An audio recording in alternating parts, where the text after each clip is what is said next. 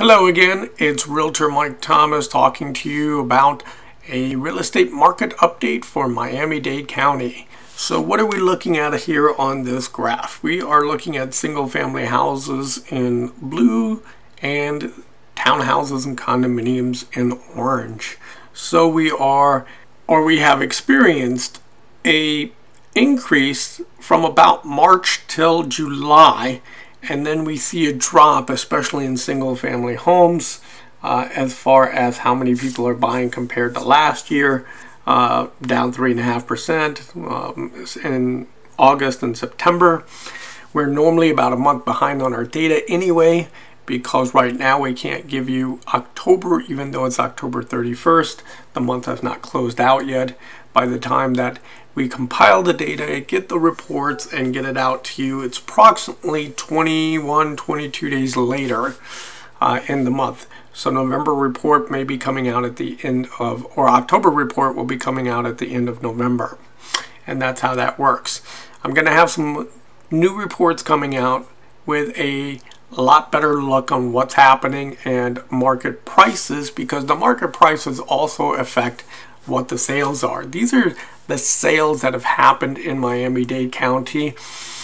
And if the prices go up, the sales may go down a little bit. And that's just normal because the people that were buying single family homes can no longer afford single family homes, so they're switching over to townhouses and condominiums, if that makes sense.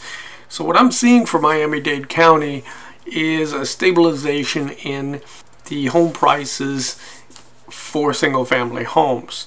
But condominiums and townhouses still go strong because if you're living in Miami, you're going to want a view.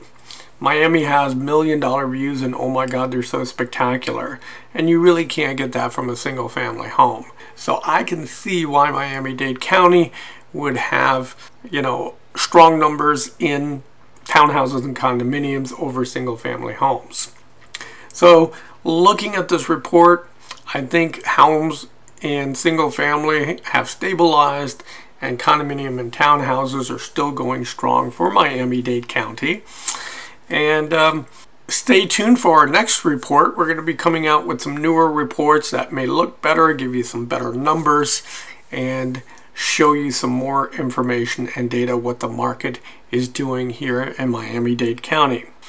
If you like this video, please subscribe. If you want notifications, please click the notification bell. If you like our video, truly like it, give us the thumbs up. And if you have any comments, please write them down below. And I'll be happy to see if I can't get to the comments. And if you want to share the love, please share this video on your social media network. Thank you.